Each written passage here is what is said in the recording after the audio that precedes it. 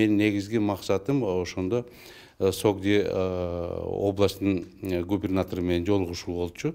Биз ошол жолугушууга баткен областынын жетекчилерин алып алып туруп биз барып ошо согди областынын жетекчилери менен жолугуп баардыгын көп бизде көп жылдан бери көйгөйлүү маселелердин баардыгын пункттап сүйлөшүп алдык.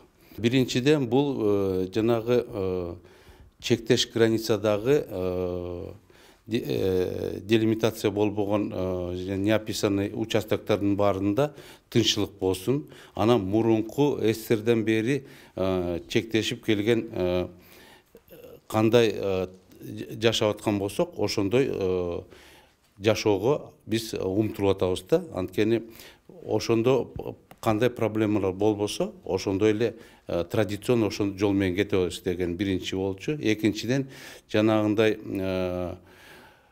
биздин спорный моменттерибиз бар. Ошолордун баардыгын чогуу көзөмөлдөп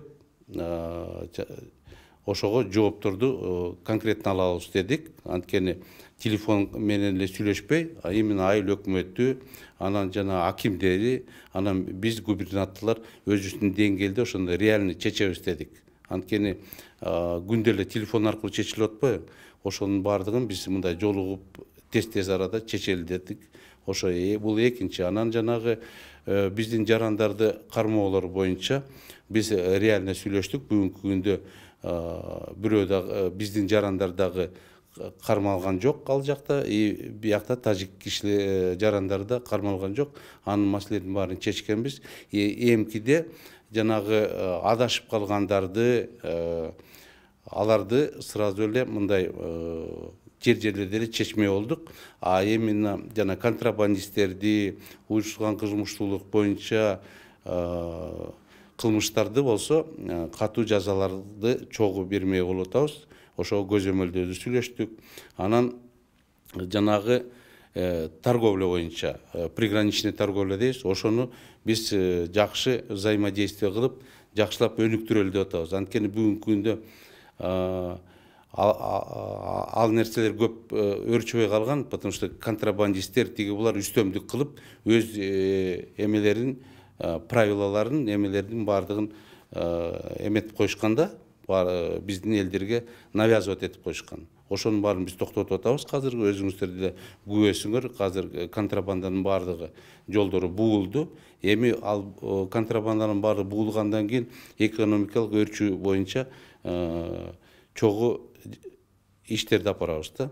Анан жанагы кошуна райондордун баардыгында жолугушуулар болот чогуу спорт түрлөрүн эметебиз алдыга жылдырабыз кызматташтык болот да. И айыл өкмөттөрүнүн баардыгын жанагы эмелердин мыйзамдардын чегинде болот деп үгүт иштерин дагы чогуу жүргүзмөй болдук. Анан жанагы эч кандай көчөттөрдү биз жактан да тиктирбейбиз алар жактан да тиктирбейбиз. Ошонун баардыгы мурунку кандай болсо ошондой калыбына келет. Анткени өкмөт пока чечмейинче демаркация болмоюнча биз именно ынтымакта жашап туруп эметебиз. Анан жана пастбищалар боюнча реально сүйлөштүк. Пастбищалар боюнча мурун кандай болсо ошондой көзөмөлдөө болот. Анан жана биздин жарандар алардын малды алып өтүп атканда алардын милициялары биздин милициялар чогуу ошондо көзөмөл болот бул сезонный пастбище деп коебуз ошолор боюнча анан суулар боюнча дагы реально сүйлөштүк чтобы эч кандай чыр чатак болбосун мурун сссрден бери калган жанагы эмелер квоталар боюнча тиги пока башка жок да ошолор боюнча дагы реально сүйлөштүк анан бул жолугушуулар боюнча азыр эми реальный информационный убакытта биз тез тез сеть менен дагы интернет менен дагы тез арада сүйлөшүп турабыз деген жыйынтыкка келдик анан бул жерде бир нерсе болуп атат. Көп жылдан бери чечилбей келген жанагы маселелер именно границалар боюнча значит аны күтө берсек уже бир поколение өсүп калбады отуз жыл болду значит аны биз азыр бул өкмөттүкү а биз чектеш область биз область биз ал айттык биз ошентип берсек өмүр өтүп кетет андан көрө азыр экономиканы өрчүтөлү экономический взаимодействие кылалы и жанагындай таможенный посттор жана налог эмелердин баарын өрчүтөлү азыр допустим европада баардык жерде мындай граница деген сөз жок болуп калган анткени условно эле границалар болуп калган да а бирок экономический взаимодействиялар экономический өнүгүү жолдору баардыгы аябай өсүп кеткен да өзүңүздөр көрүп атасыздар биздин баткен областында экономика жагынан өрчүү болбой көбү баардыгы миграцияга баардыгы кетип калышкан бул жерде эчтеке жок орундар жок эч кандай эмелер жок бирок бияка келип кайта кайрылып жашайбыз дегендер үмүттөрү чоң жана биздин мигранттар жанагы башка жерлерде жашап аткан. Ошолордун баарын бияка келиш үчүн биз эме түзүп беришибиз керек да. Шарттардын баарын ошондо биз шарттарды түзөбүз кудай буюрса.